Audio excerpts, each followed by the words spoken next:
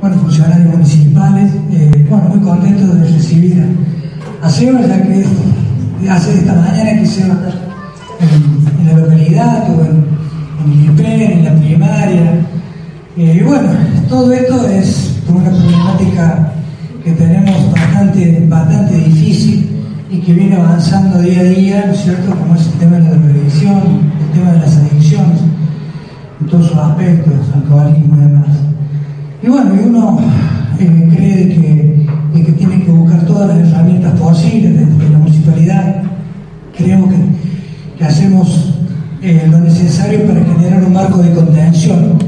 Lo más importante creo que el deporte, el apoyo a los clubes, el apoyo a los talleres culturales, todo eso sirve para darle, para darle un, marco de contención a toda esta problemática que tenemos y esta charla, por supuesto, considera que seguramente serán muy, interesantes. Yo sé de su, de su, por otras charlas en otras municipalidades, compañeros intendentes eh, que me han comentado, así que seguramente va a ser de, de muchísimo interés. Y bueno, eh, si afrontar la problemática, eh, hacer algo, nos propusimos eso, por eso nosotros en el tío tenemos un centro de adicción, acá tenemos presente la psicóloga, el asistente social que están trabajando y que próximamente inauguraremos la, la, ampliación porque creemos de que eh, no, no, no, debemos estar ausentes de la problemática, no solo, no solo este, trabajar en materia de contención, como decía, en, en, todo lo que se pueda hacer recreativo, en todo lo que se pueda hacer cultural, sino trabajar en, acciones directas, o como, como es el centro de, adicciones, que para mí fue muy importante porque fue el primer centro de adicciones que se inauguró en la provincia de Córdoba, fue en el TIO, así que estoy lleno de orgullo en ese sentido. Eh, así que bueno, eh, agradecerles la presencia y que espero que disfruten y sea positiva esta charla que seguramente este, lo será. Así que agradecerle a Seba y bueno, esperamos eh, tenerte pronto por acá. Me gustaría que alguna vez pudiéramos hacer un taller con el centro de adicciones. Las chicas acá están organizando un cronograma muy interesante en el año, así que, que lo vamos a comunicar en la página de Facebook, que participen los jóvenes, porque principalmente es para ellos.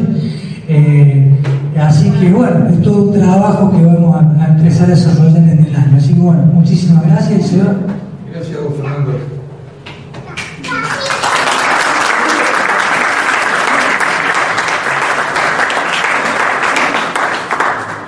Bueno, ¿qué tal? Buenas noches. Eh, en principio agradecerle al municipio, a, todo su grupo de trabajo que me han acompañado durante todo el día, que me han dado la posibilidad de poder hablar a sus hijos, a, todos los chicos del, colegio primario de sexto grado, de la mañana y del turno tarde, y después hablarle a todos los chicos del secundario, mañana y tarde.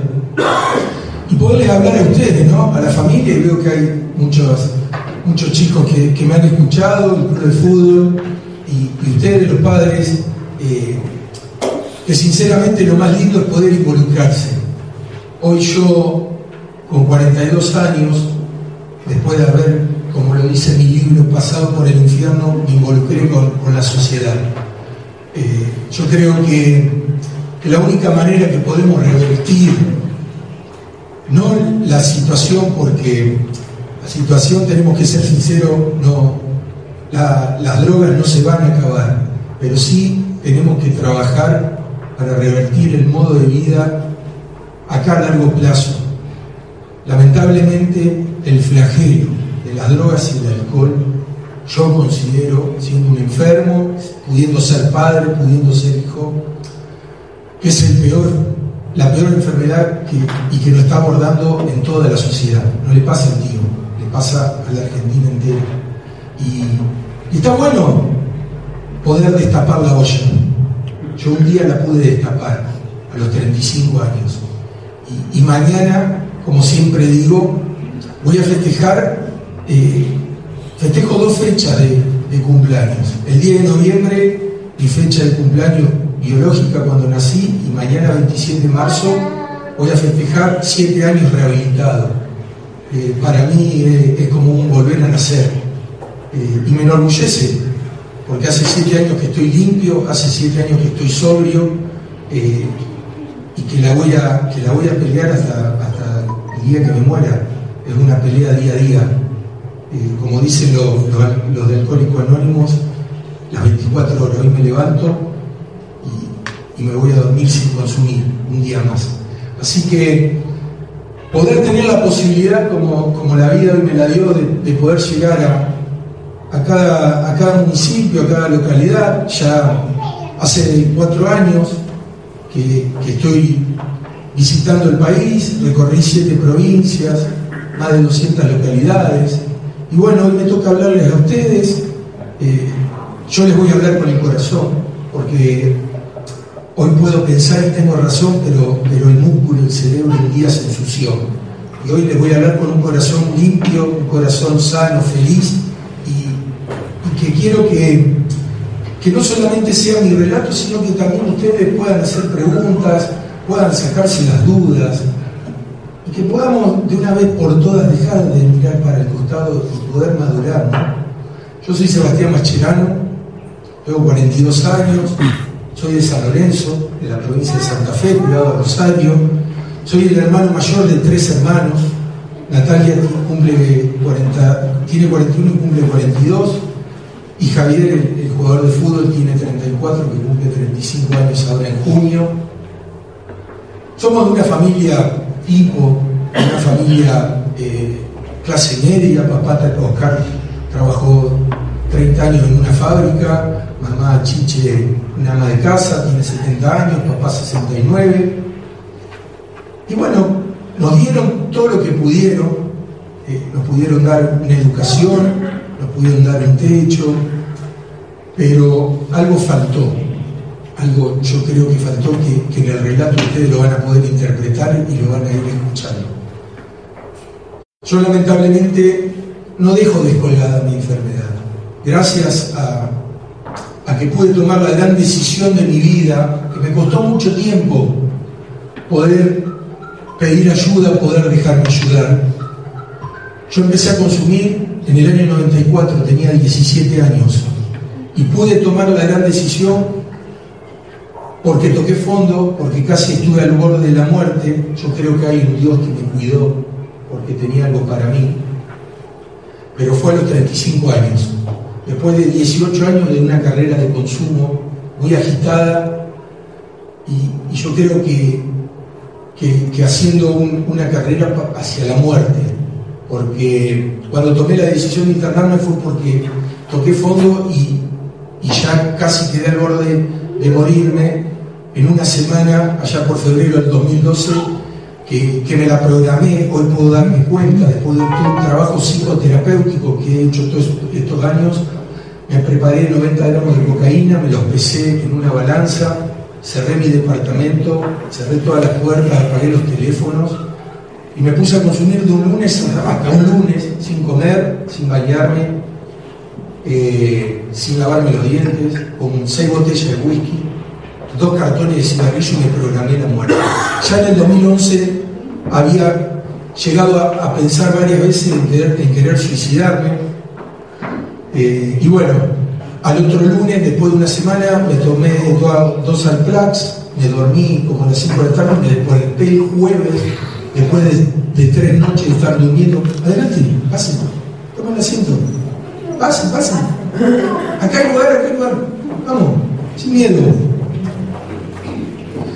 Y, me desperté el jueves a la, tarde, a la tardecita, porque mi socio Martín, que es el que un socio hace 22 años de los negocios que, todavía soy dueño, junto con Rocco, mi hijo mayor de 15 años, que hoy tiene 15 años, me arribaron a la puerta del departamento y, me encontraron casi muerto, pues no me había despertado durante tres días, ni al baño, estaba todo hecho encima.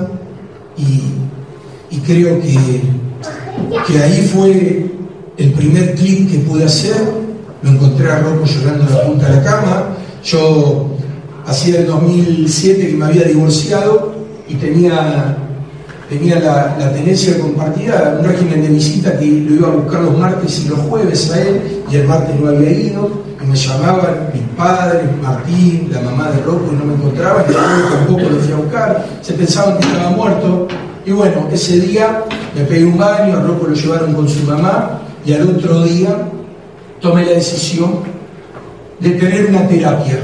Yo pensaba que los psicólogos eran para los locos. Y ahí al otro día fui a Rosario, a Vínculo, que es un centro de días, cuyo director es Horacio Tavares, Oroño y Ceballos, eh, las calles, y ahí, acá hay un lugar, chicas, y ahí pude, pude escuchar durante cuatro horas, pude contar la verdad, por eso digo que ahí fue el primer paso, porque empecé a hablar con la verdad, y, me dijo, bueno, Horacio, hasta acá llegaste, eh, no, no vas a poder sostener un ambulatorio, no vas a poder eh, venir al psicólogo, tomar medicación y venir una vez por semana, pues no vas a poder cortar un consumo. Yo consumía en ese momento, llegué a consumir 10 gramos de cocaína por día durante los últimos cuatro años de mi vida, con un deterioro total. Y, bueno, es así que, en marzo, el 27 de marzo, me estaba internando en Gradiva. Gradiva es una comunidad terapéutica en Buenos Aires, en Caballito, cuyo director, Caballito del Barrio, calle Rivadavia 5448, cuyo director es Juan Alberto Yaría, que para mí fue como mi segundo papá en ese momento. Ahí estuve toda la contención de un grupo de, psicólogos, tuve la contención de un psiquiatra, Carlos Ramírez, la contención de una cocinera, de un grupo de, médicas, para mí fue mi segunda casa, fue donde, donde yo me salvé la vida. Ellos aportaron, colaboraron, pero yo hoy considero que el que puso el 70% de uno para hoy poder tener una vida fui yo, por eso me, llena de felicidad. Y ahí fue cuando comencé verdaderamente a, entender de qué se trataba todo esto. Eh, tuve, yo cuando llegué pensé que iba a estar dos meses, tres meses, tuve una estancia de 18 meses, 27 de marzo del 2012 hasta el 1 de septiembre del 2013 y, el doctor Juan Alberto siempre me decía, tenemos, sos buena madera, eh, tu cerebro está lastimado, pero todavía puede, puede, empezar a pensar, y si te atreves a conocerte y, a escucharte cuando hagamos terapia, te vas a dar cuenta de qué se trata. Y así fue. Hoy puedo, puedo entender que la droga no es más que una palabra, la droga es, no hay que, yo siempre le cuento, no hay que preocuparse, hay que ocuparse a mí me, llena de felicidad que ustedes están acá, porque se quieren ocupar, más allá que a lo mejor no tengan alguien cercano que consuma, pero tienen hijos, tienen sobrinos, tienen nietos, tienen familia y tienen ganas de entender de qué se trata. La sociedad argentina todavía es un tema tabú hablar de la droga, nos cuesta mucho, eh, nos cuesta mucho pedir ayuda, nos cuesta mucho entender por qué se enferman las personas, nos cuesta entender por qué lo hacemos. Yo fui entendiendo que primero la palabra droga no es más que una palabra, que es un conjunto de sustancias que reúne dos tipos de sustancias.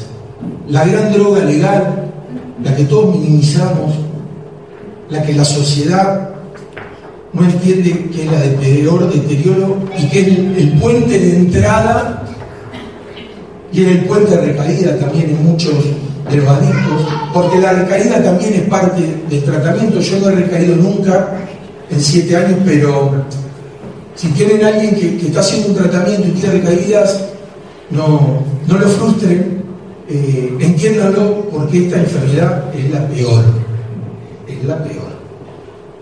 Se lo dice alguien que lo ve por todo el país, lo dice alguien que, que lo vive día a día, es la peor porque es la enfermedad del corazón. Y esa gran droga es el alcohol. Es la droga que, yo he visto el deterioro de las personas, tanto en la clínica donde estuve internado, como en todas las localidades que visito. Y es la droga que, que hoy nuestros niños, porque no empiezan a consumir a los 17 años las personas hoy. Algunos sí, pero ya hoy empiezan a consumir a los 8, 9, 10 años y a los 11, 12 años ya empiezan con la previa. Y si el cumpleaños de 15 no hay alcohol, el cumpleaños de 15 no estuvo bueno o no van.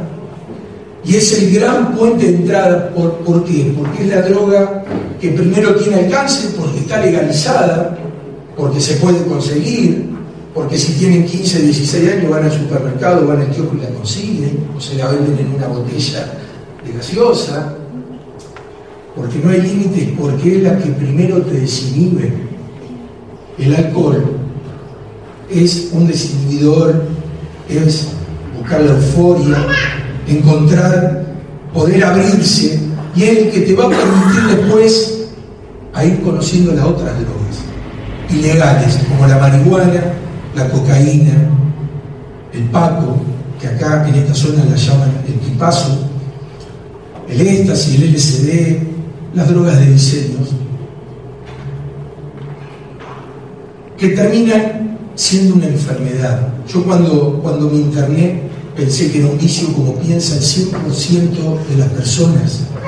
Todos los, que, nos convertimos en adictos, y, y, quiero que ustedes como sociedad empiecen a entender que un adicto no es un falopero, no es un drogadicto, no es una mala persona, porque para que no la castiguen, porque nos cuesta mucho después, cuando nos vamos rehabilitando, insertarnos en la sociedad, porque la sociedad te margina, la sociedad te marca, si tenés una recaída, viste, este no cambia más. Empecemos a madurar, no somos malas personas, no somos malas personas, pero estamos acostumbrados a ver lo que, lo que vemos por televisión, que alguien eh, mata y ya, y viste, mata porque estaba drogado, seguramente. Pero yo le voy a explicar por qué mata. Con el consumo que yo he tenido, no tuve que matar ni robar, pero le puedo asegurar que lo hubiese hecho. Porque cuando el cuerpo te lo pide, la sangre te lo pide, haría cualquier cosa para conseguirlo. La droga, por eso le digo que, es la, peor anestesia. Es lo que, lo que peor nos puede pasar. Y muchas veces podés morir de un montón de maneras. La droga mata de un montón de maneras. La enfermedad mata de un montón de maneras. Te, tomar la decisión de suicidarte, tomar la decisión mal y, te subís consumido a una moto, un auto y chocás, te agarra un paro cardíaco, una sobredosis. Pero yo considero que la peor manera de morir de los adictos, que adicto quiere decir no poder decir, no poder hablar. Yo no pude hablar 18 años, por eso hoy soy un adicto en recuperación. Puedo hablar. Les voy a contar mi historia. Y lo más lindo que nos puede pasar es poner en palabras. Esta es una enfermedad que no tiene cura. Esta es una enfermedad que la vas a llevar de por vida. Es una enfermedad que vas a tener que poner todos los mecanismos que aprendes y las herramientas que te enseñan los profesionales para poder mantenerte donde está la verdadera enfermedad, en la calle. Porque acá adentro calculo que nadie tiene consumo, pero ahí afuera sí está el consumo. Entonces, la droga puede matar de un montón de maneras, pero le puedo asegurar, gente, que la peor manera de morir de una persona es que se te lastime el cerebro y no puedas pensar y que se, te ensucie el corazón y no puedas sentir. Y una persona que no puede pensar, que no puede razonar, que no puede amar, que no puede llorar, que no puede ser feliz, no tiene vida. Yo no la tuve durante 18 años.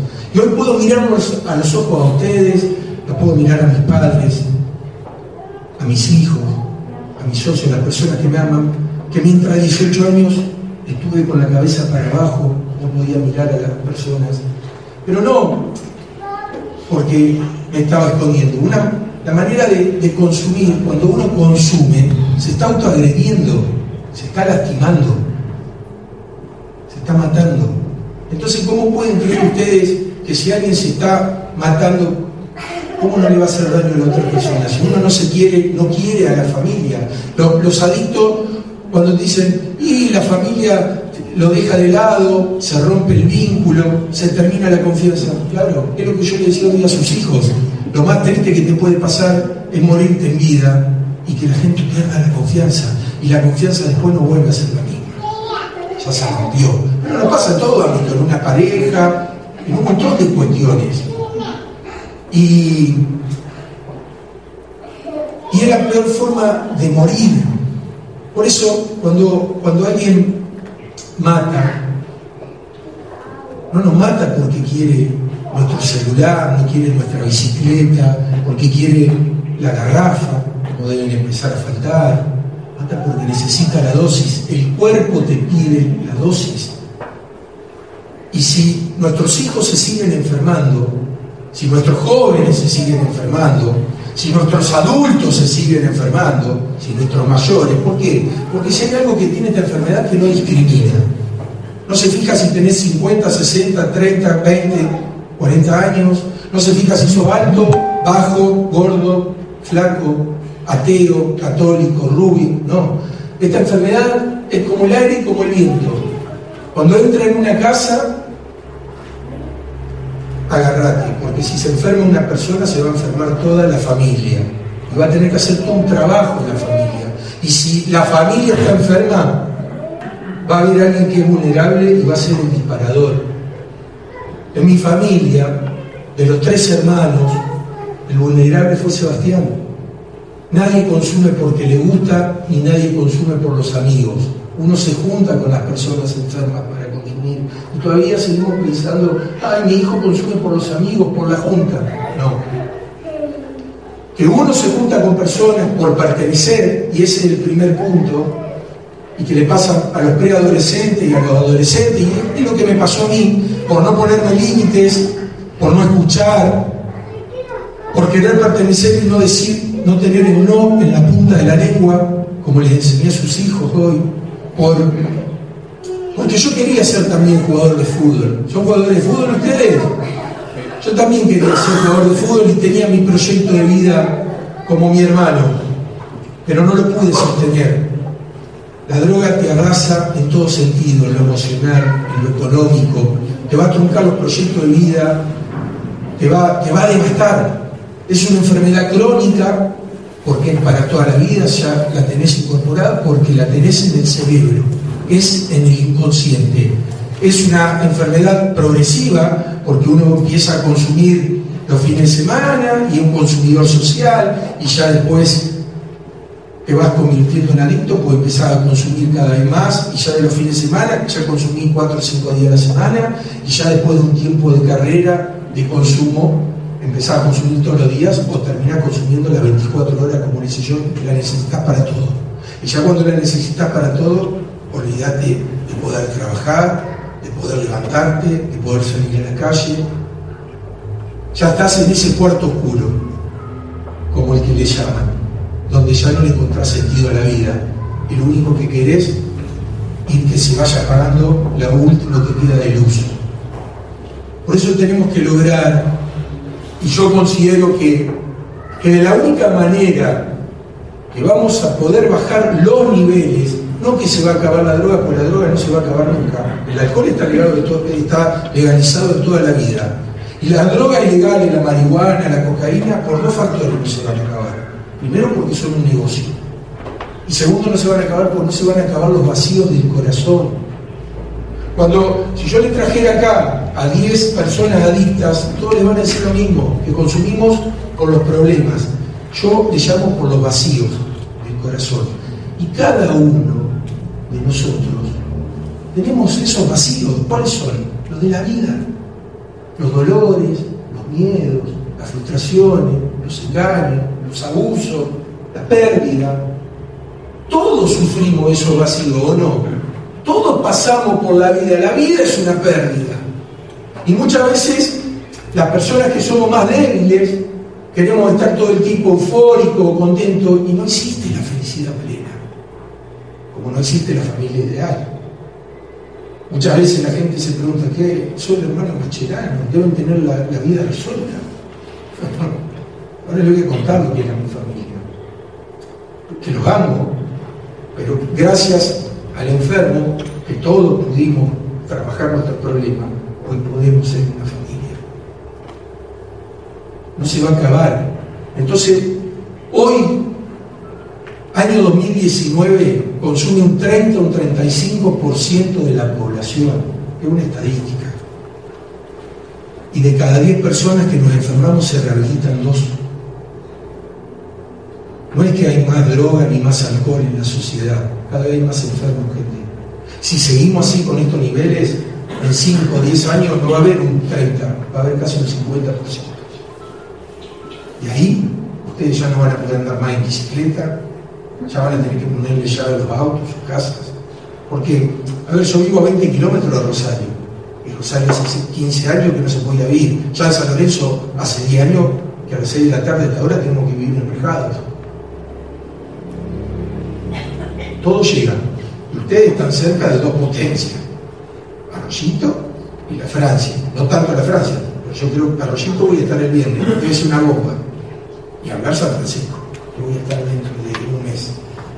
Entonces, la única manera que podemos bajar esos niveles de acá a 20, 30 años, porque hoy tengo ganas de vivir, hoy quiero vivir, ojalá Dios me lo permita vivir hasta los 80, 90 años, quiero vivir porque tengo ganas de vivir, me maté 18 años y hoy tengo muchas ganas de vivir y quiero dejar mi granito de arena. No, yo sé que muchas veces me he frustrado porque cuando empezaba a dar estas charlas en el 2014 yo venía y quería cambiar la realidad y la realidad no la vamos a poder cambiar. Pero quiero entre 20, dentro de 20 o 30 años ver que, no consuma un 50%, que consuma un 5%. Y que si de cada 10 nos rehabilitamos dos, se rehabiliten 5, que empiecen a pedir ayuda a los profesionales, a la iglesia, a, una mujer, al deporte.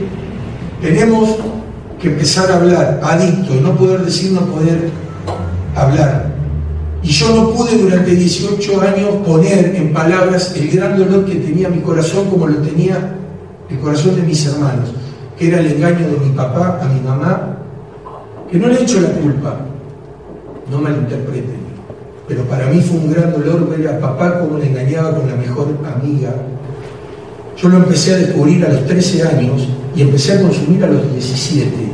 Pero en esos cuatro años, donde papá se iba a, un hotel con la amante, yo lo seguía, o la amante venía y la mandaba a mi mamá a comprar algo al supermercado para comer y se iba a besar en el patio de casa con mi papá, y yo lo espiaba por atrás de, de la ventana y de las cortinas.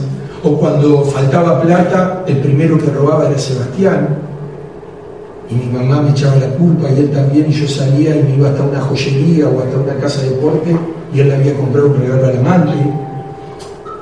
Fue muy triste. ¿Saben por qué? Porque muchas veces me quise agarrar del cogote, me quise echar de casa, pero no pude. No pude nunca. No pude hasta los 34 años, que un año antes de encarnarme se lo pude decir adelante de mi madre, de mi hermana y de todo. Mamá ya lo sabía, mi hermano también lo sabía y mi hermana también. Porque cuando empecé a rehabilitarme, Javier, que le dije, ¿vos sabías de papá? Sí, se va. Yo siempre lo supe si yo tenía 6, 7 años. Vos tenías 15. Pero yo, yo me fui a River. ¿Sabes cuántas veces yo fui abajo de la tribuna de esto? Pero yo me fui a buscar mi objetivo de vida. Jodete vos que te quedaste a cuidar a mamá. Y tienes razón. Yo me casé a los 25 años, me quedé 8 años cuidando ahí en casa, viendo a ver qué él hacía, viendo. Nunca hubo un maltrato físico, pero el verbal, el psicológico, mamá, una mujer que se desvivió toda la vida por él, se sigue desviviendo, porque mamá hoy los perdonó y son felices, y, que lo esperaba con la comida, lo esperaba con la ropa planchada y él llegaba y hacía todo un desprecio. Y yo decía, no puede ser. Y me daba medio de no pude, no pude. Pero hoy que puedo, y que pude perdonar a papá, que él me pudo perdonar, que lo pude poner en palabras, que mamá lo perdonó, me pude dar cuenta de dos cosas. Primero que, que cuando empecé a consumir por pertenecer, que, yo quería ser jugador de fútbol y no escuché, y empecé a tomar alcohol porque jugaba toda la semana, entrenaba en Central, llegaba, jugué hasta la cuarta de AFA de Central, hice la gira a México, tuve la posibilidad de quedarme a jugar en el Cruz Azul. Y, empecé a, consumir porque mis amigos decían, dale, tenés 16 años, ¿hasta cuándo? Va, jugás toda la semana, te estás perdiendo la adolescencia, no sabés si vas a ser jugador de fútbol. Salí, y bueno, empecé a salir, mi viejo me decía, no salga, mi papá un amante del fútbol. Javier es lo que es gracias a mi papá lo único que, siempre quiso papá, más allá de, que nos pudo dar una educación y todo, era que, alguien pudiese ser cumplir un sueño frustrado de él. Y, Y empecé a salir, empecé a tomar alcohol. En junio del, 2000, del 94, con, con 17 años, probé el porro de marihuana. Vení, probá esto, pará, si yo no fumo, dale, fijate, esto te va a hacer reír, esto te va, te va a, a de la realidad, esto te va a colgar. Y lo probé junto con cuatro o cinco amigos que íbamos al secundario, y en octubre ya cuando me iba a Bariloche del 94, en el colectivo con un compañero ya probé la cocaína, mi gran amor. Desde ese día fue la, probé todas las drogas, pero fue la que, la que más utilicé para llenar mi vacío del corazón. Y yo me puedo dar cuenta, que le contaba Santiago, que qué triste que yo no abandoné el fútbol por, por la sustancia. Yo abandoné el fútbol, se lo abandoné a mi papá. Me pude dar cuenta que, ah, vos me haces daño, vos me estás haciendo esto, yo te voy a hacer el gran daño, lo que más te Pues en ese momento yo con 17 años, Javier tenía 9, sabíamos si iba a jugador de fútbol. Le abandoné el fútbol. Y encima ahora me voy a drogar y te vas a enterar que me drogo. Pasa que es inconsciente, pero uno cuando consume se está autoagrediendo y les puedo asegurar que no ve los ojos que no quieren ver no ve la familia que no quieren ver, porque el cambio de actitud, los impulsos, el cambio de actitud de una persona que consume en tres meses es de un día para el otro. Cambio de amistades, empiezan a faltar cosas en la casa, bajar el rendimiento, abandonar una actividad, empezar a andar mal en la escuela. No ven los ojos que no quieren ver. Y le abandoné el fútbol. Y fíjense que hoy papá y mamá están juntos, nos perdonamos, yo me enfermé para toda la vida y me trunqué el gran proyecto de mi vida. No voy a volver a nacer para jugar al fútbol. Pero hoy tengo 42 años y tengo ganas de vivir. Y trato de inculcar, me veo proyectado un poco en Rocco, mi hijo de 15 años que le encanta el fútbol y lo apoyo, pero siempre le digo, tener un apellido, pero no tener la obligación. Lo que quiero es que hagas un deporte, lo que quiero es que, que vos te sientas feliz. Si querés jugar al tenis, juega al tenis. Si quieres hacer karate, hace karate. No quiero que estés en la esquina y quiero que, que no estés en la calle. Que te sirva porque considero que el deporte, más allá de que alguien pueda proyectarse, yo creo que el deporte nos contiene, que el deporte tiene muchos valores, como, como el trabajo, como la disciplina, ya sea cualquier tipo de deporte, y que lo va a tener contenido a sus hijos y no van a estar en la calle. Entonces, fíjense cómo funciona el cerebro de un adicto para llenar los vacíos del corazón. Y muchas veces nos trucamos. Yo quería ser contador público nacional, usted también es contador, me contaron, Fernando. No pude sostener la carrera tampoco, empecé en Rosario, iba a la facultad y para estudiar o rendir parciales o cuatrimestrales me juntaba con personas que consumían a la noche a tomar cocaína porque eso no iba a mantener despierto. No pude sostenerlo. Abandoné. Pero eso no es solamente.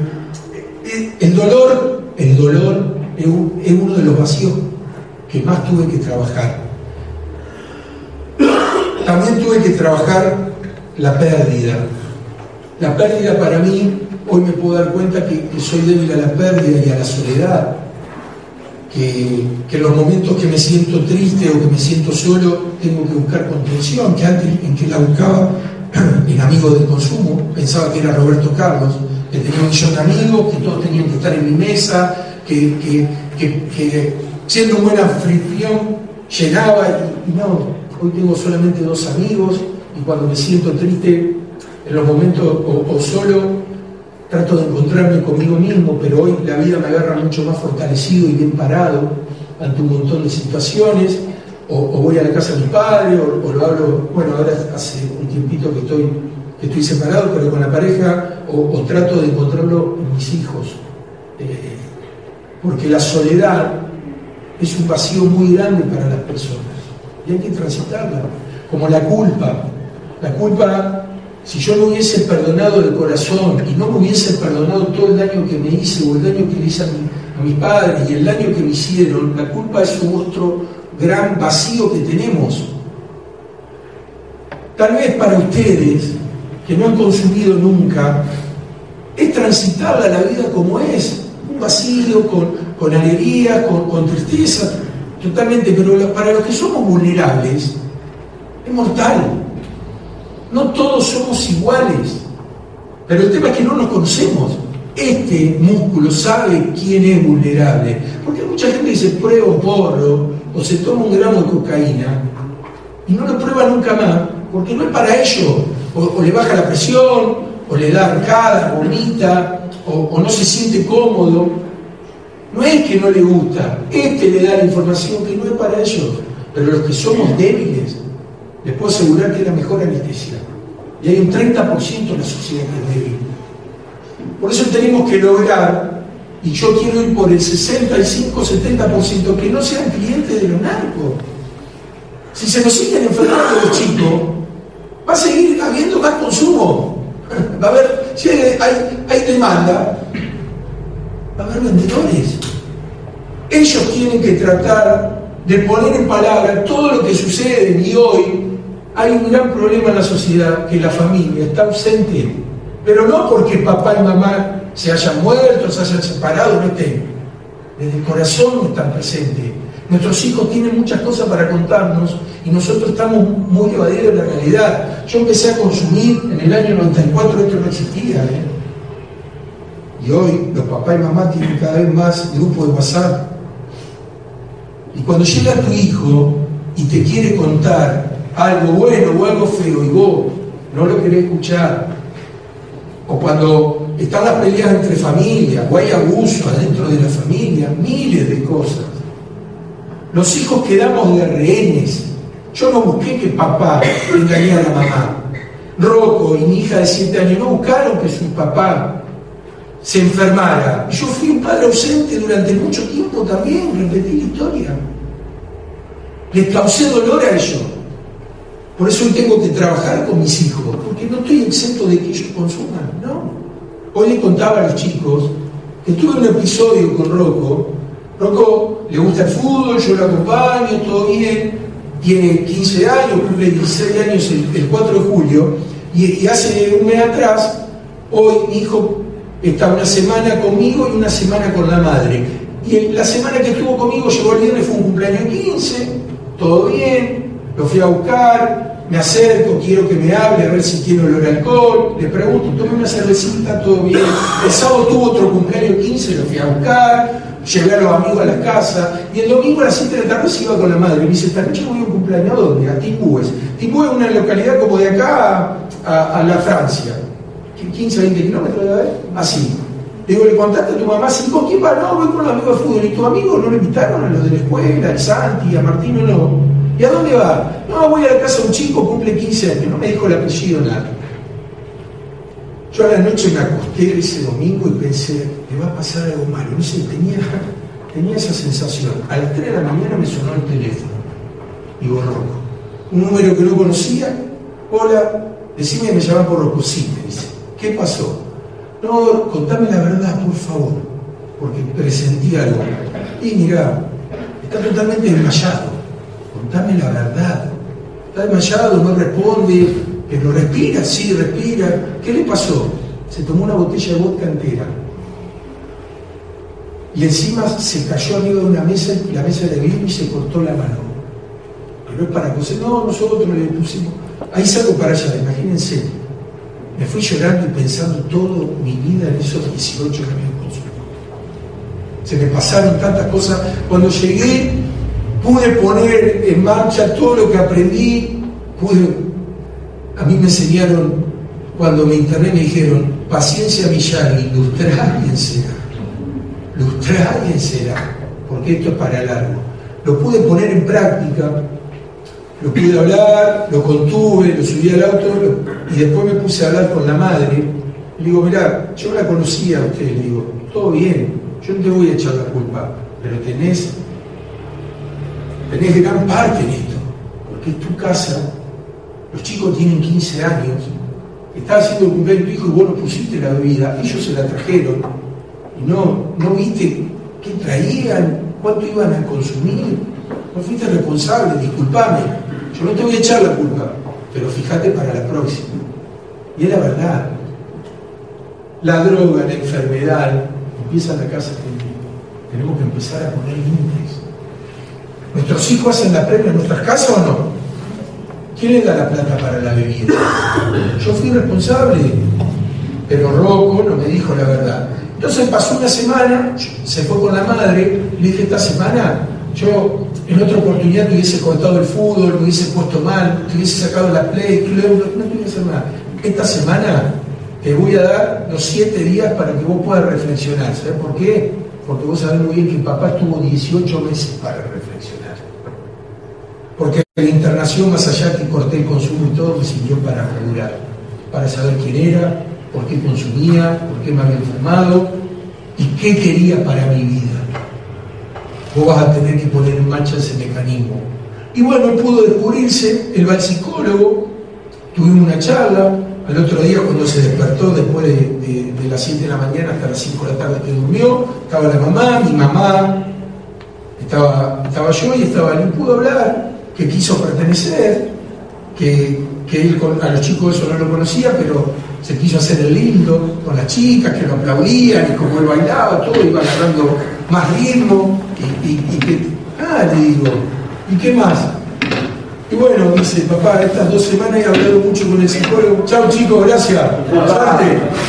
Salgan campeones, ¿eh? Gracias, profe. Y, le digo, Rocco, eh, ¿qué pasa? Estoy hablando, papi, estoy hablando, estoy hablando temas todavía de vos, no lo puedo cerrar. Estoy muy enojado con vos. Y claro que sí, digo, si muchas veces me decís que no soy un, que no soy un buen papá, que te hubiese gustado con otro papá, que no te enseñé a andar en bicicleta, que no te enseñé, que no te acompañé a la escuela, que tus amiguitos en tercero, cuarto y quinto grado te decían que yo tenía un papá drogadicto, un papá falopero. Y sí, él tiene que trabajar un montón de cosas. Pero gracias a Dios, ¿saben qué? Me lo puede poner en palabras. Por eso, si tienen a alguien cercano que viene y que les cuenta a ustedes lo que le está sucediendo, es muy triste enterarte que tu hijo tiene un coma alcohólico, o que se está convirtiendo en alcohólico, o que fuma un porro, que se toma un gramo de cocaína. Pero lo bueno es que te lo pueda contar. Porque si no, y se lo empieza a guardar, se lo empieza a guardar, posiblemente termine en adicto. Y veremos si tiene la posibilidad de estar dentro del 20%. Porque si tiene algo el alcohol y la cocaína, más que todo de las drogas, que al principio son drogas eufóricas, que te, dan la apertura, te quieren mantener todo el tiempo allá arriba, eufórico, no quiere bajar, porque cuando baja la realidad queda hecho pedazo. Pero al final de una carrera de consumo son drogas depresoras, que terminan allá abajo. Por eso no se trata de volverse loco, se trata de ocuparse, se trata de poder abrirle el corazón a nuestros hijos que entiendan que tienen padre o madre presente y que él te pueda confiar. Yo no pude confiar con mamá y papá porque pues, papá estaba en su mundo, su amante, y mamá pobrecita estaba siguiéndolo en, en que a ver si se quedaba sin marido, si se separaba. Descuidaron a sus hijos, sí, Natalia no quedó embarazada a los 17 años porque se olvidó de tomar la pastilla anticonceptiva. Y Juanjo, mi cuñado, no se, no se puso preservativo. Natalia quedó embarazada a los 17 años para irse de casa.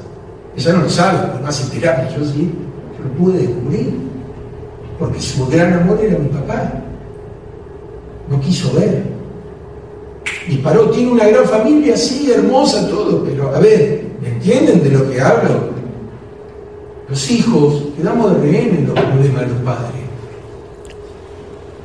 Por eso es un trabajo que hay que hacer y nos va a costar años.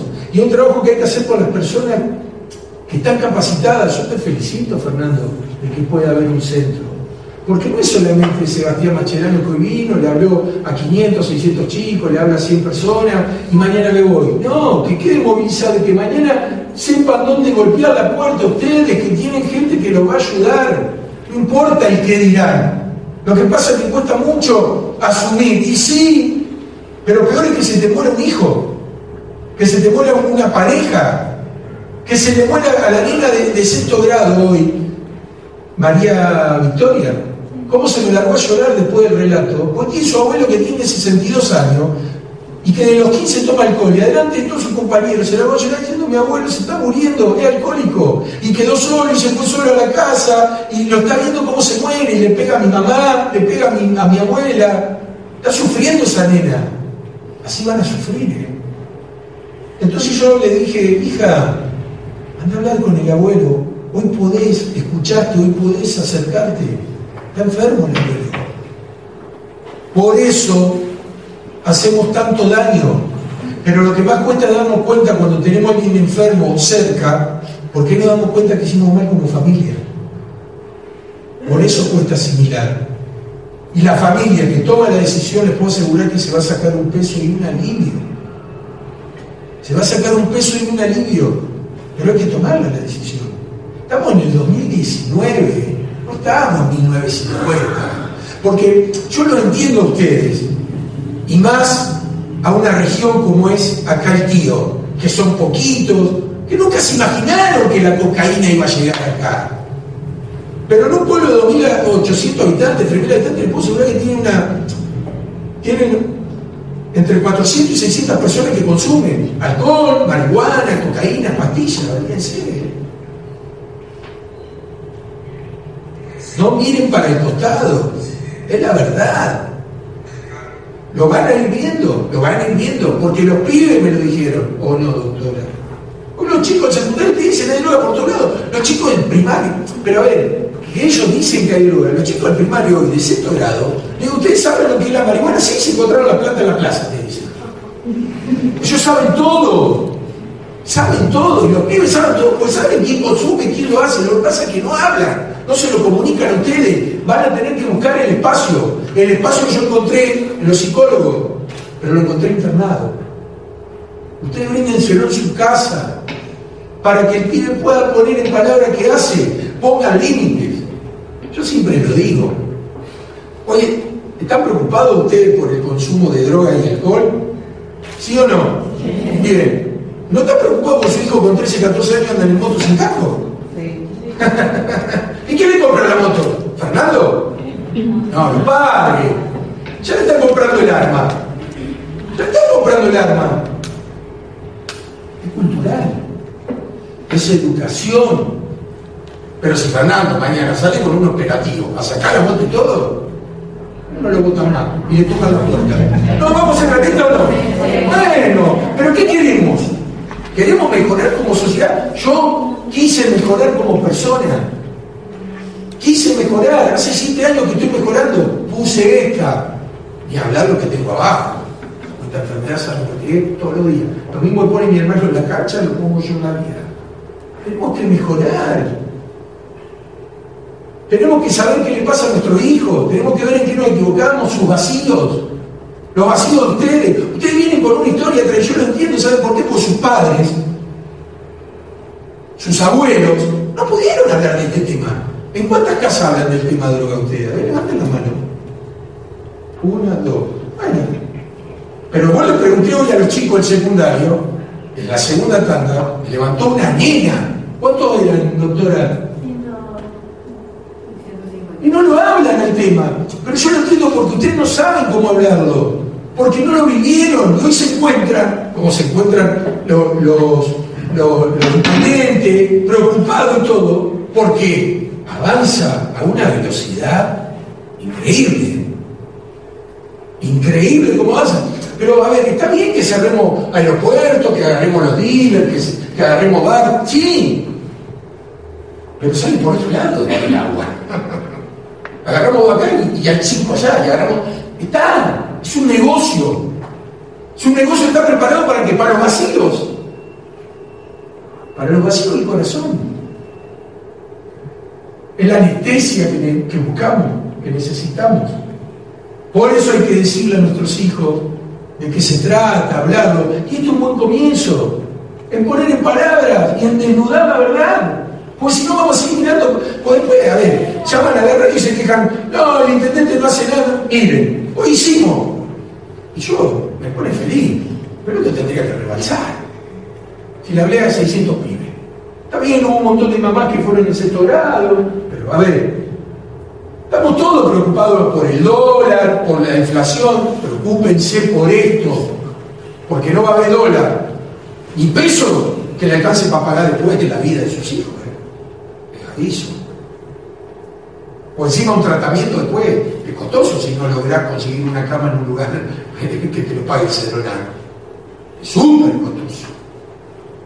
Entonces, hay una realidad. Y sí, es esta. Es esta. No echemos más culpa a los policías, que hagan su trabajo los policías, que hagan su trabajo los políticos. Nosotros tenemos que hacer trabajo como familia, de la puerta para adentro poner límite. Vos tenés 13 años, 14 años. No, pero tengo que. No, que anden en moto tus amigos, vos no. Vos no podés, no, dame 500 pesos para salir. ¿Qué, qué no va a gastar los 500 pesos el viernes? No, voy a. Tengo. No, no. Sí, toma, ¿a dónde va? Y me, voy a con los chicos, toma 100 pesos, me tomo una coca. Si ponen van 4 con 400 pesos, toman una coca, se comen una pizza. Lo que pasa es que somos permisivos. Yo lo hice para poder drogarme tranquilo, Play 2, Play 3, Play 4, viaje a Miami, claro, quería tapar la culpa. ¿Saben cuánta familia tapa la culpa con la plata? No matamos. Porque llega tu hijo a la noche que tal, o porque están separados, o porque no lo escuchan. La culpa mata. Culpa mata. La culpa mata. Pero los pibes, ¿saben con qué se drogan? Con la plata. Y si no tienen plata, te van a robar todo o van a vender todo. Y si no, van a salir a robar y te van a matar. No podemos, no se puede seguir enfermando a la gente. Avanza muchísimo. Ustedes ven el 1% lo que pasa, en serio. ¿Saben lo triste para mí, la niña tuya, Santiago Letero, que es el caso más resonante, te lo cuento? Llegué el año pasado, fui dos días, y este año me llama el intendente me dice, Seba, vení, tenemos cinco familias, pero hay algo que no lo podemos entender. Fui, vení que te pagamos el hotel, los gastos, no hay problema, fui. ¿Sabes lo que encontrarme en cinco familias con dos familias con un nene de cinco años y una nena de seis años tomen cocaína? Cinco años y seis años. ¿Por qué? Porque el padre toma cocaína y deja el plato y arriba y el pibe viene y toma. ¿Qué cerebro va a tener esa nena y ese nena en los diarios? ¿Cómo no te va a pegar un tiro? No poder pensar si está vivo, flaquito, no come, no duerme. Así, miles de yo tengo la suerte de haber estudiado el de haber terminado el secundario, de haber comido bien, una genética diferente. No todos somos iguales. A mí me llevó un año y medio, a otro le llevará cinco, a otro por ahí le lleva menos. Cada uno tiene su tiempo para tomar, pero no podemos quedar en esa. Porque a lo mejor el tiempo de uno no es el mismo que el otro. Esta es una enfermedad de las cuatro C. Uno termina en la calle como terminé, Tuve a mi hermano que me pudo dar un departamento porque si no terminaba en la calle. Ya no podía estar en mi casa, no podía estar en ningún lugar. Perdí el matrimonio, perdí otro segundo matrimonio, no pude, me alejé de mis hijos. Mi hija la conocí a los tres años de haber nacido, porque me tuve que hacer un ADN, no sabía que era mi hija. Eh, ya había perdido la responsabilidad del trabajo. Yo soy dueño de dos bares una confitería bailable muy grande en San Lorenzo, Salamandra, que todavía soy dueño hace 21 años, pero hace 4 años que no voy, no trabajo más de noche, porque cambié de vida. Y, y es un gran problema para mí fue, porque me había creado un personaje que acá en el libro lo cuento, el rey de la noche, Luis Santiago dice, claro, yo compraba bares, boliche, compré el cabaret, yo vivo en una zona que hay 19 puertos, donde vienen los barcos de 300 metros, se llevan toda la soja, el maíz, el girasol de toda esta zona, y vienen con chinos, con griegos, con rusos, filipinos y a todo eso durante 60 días que cruzan el Atlántico hay que darle diversión después. Así que me puse un cabaret completito. Me potenció la noche, me potenció el consumo. Y Poli Armentano quiso ser el rey de la noche, terminó muerto. Así va a terminar yo. Por eso yo a los chicos siempre digo esto, úsenlo como, como, como algo sagrado y guárdenselo en el cofre que es el corazón.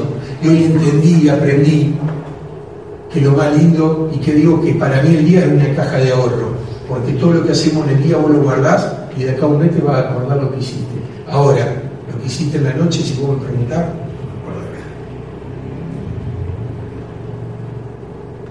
Eh, la segunda sede de la enfermedad es la clínica. Terminar en una clínica rehabilitándote, si tenés la fuerza de voluntad, pues si hay, algo que tienen encima, fíjense todo, ¿eh? Encima, si hay algo que tienen estas drogas, es que te matan la voluntad. Y ahora tenés que volver a renacer con la voluntad, porque si no pones voluntad, podés estar con los mejores médicos, podés pagar el mejor psiquiatra, podés todo el apoyo de la familia, pero si vos no pones el 70%, chao, acá hay uno el que tiene que poner. O terminar una clínica como una maceta. ¿Saben cuántos pibes, pero cuántos que veo que ya no van a poder pensar, no van a tener una vida porque están limados por el Paco, que pesan chicos de, 15, 16 años sin dientes, que pesan 20 kilos. Por eso a mí cuando me preguntan, ¿y vos qué harías? Y una forma de prevenir para mí también sería muy buena, si firmarían los centros de rehabilitación y que muestren cómo están los pibes adentro impactaría muchísimo. A los, pibes le impactaría posiblemente habría un montón que no consumirían todo eso. Porque, a ver, acá no hay un método. Ojalá hubiera una máquina que nos metamos todo ahí adentro y no, no haga, wow, limpiarte los vacíos del corazón. No, no existe. No existe. Ustedes por ahí no lo ven, pero les puedo asegurar que si de acá a 5 o 10 años empiezan a mirar, van a ver el deterioro, el deterioro de un montón de personas que aman, que conocen de chiquito, lo van a ver. Y no te da tregua, no te da tregua esto. El consumo no te da el deterioro, porque no todos somos iguales. Hay, personas que lo resisten y hay personas que no. Los cuerpos son diferentes. Los chicos empiezan a tener relaciones, a los 20 años, 21, toman cocaína, las drogas son inhibidoras, no puedes tener sexo, toman Viagra, ¡pum! explota el corazón, porque venís con un corazón abierto así de tomar cocaína y de mandar Viagra, ¿cómo explotan? O sea, hay mil cosas. Por eso uno se da cuenta, porque lo he visto, lo he vivido, lo sigo viendo. Pues. Si hay algo que, que también hago en estos cuatro años, que yo quedo comprometido Después, si a mí me llaman de acá, yo voy a venir y si podemos hacer internar a alguien en Nazaret o donde sea, en la faceta, estoy comprometido. Y así se fueron internando de 50, 60, 70 personas que me han escuchado, que me ha llamado la familia, que va, hoy fue una familia a visitarte, doctora. Eso es bueno, hay que empezar. Si no, terminar la tercera sede de esta enfermedad, es la cárcel, lo más común. Y cada vez son más chiquitos los que van. En el, 2000, en el 94 yo empecé a los 17 años, conseguí la marihuana y la cocaína, el alcohol no, porque el alcohol lo conseguías como querías, pero conseguir la cocaína y la marihuana era muy difícil. Muy pocos la tenían, en una ciudad que hoy tiene 55.000 habitantes, San Lorenzo debe haber habido 20.000, 22.000 habitantes, 25.000. Eran señalados, eran personas más grandes, vos te acercabas y le decías, le quiero comprar un porro. Salí de acá, yo no tengo, tenía miedo que vos lo mandé al frente, si te agarraba la policía. Teníamos que ir a buscar cocaína a los barrios de Rosario, las villas, o San Nicolás, Villa Constitución. Hoy, el gran problema es que la consiguen como un caramelo. Es más, yo a los chicos les decía, hoy ya tenés el delivery, porque les informo, ya no tenés que ir a un búnker ya te la traen en moto a tu casa, como la pizza, como la hamburguesa, o a la esquina. En un par de años se la van a traer con un dron. Va a bajar el dron así, la bolsita, todo, tomarle, ponerla en serio. A ver, estamos en el 2019. Los pibes acá en el campo ya no andan más caballos, andan en en moto. Todo avanza. La ciencia, la electrónica, la medicina, todo avanza, pero no avanza en nuestras cabezas. Pues pensamos que nuestros hijos o los enfermos consumen porque les gusta. O, no. O que la enfermedad es culpa de los demás. No. La enfermedad empieza en la casa. Empieza en la casa. Empieza en la casa. ¿Por qué? Porque hay alguien vulnerable. No todos somos iguales. Y la, y la cuarta C, la que todos queremos llegar con tiempo y con plata, y a donde llegamos para dejar de sufrir, es la del cementerio. Es terminal esta enfermedad, terminal. De una u otra forma.